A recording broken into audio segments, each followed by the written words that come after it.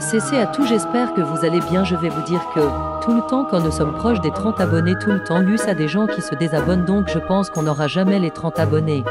Bon, c'était pour vous dire ça, bye et bonne rentrée pour le lundi prochain.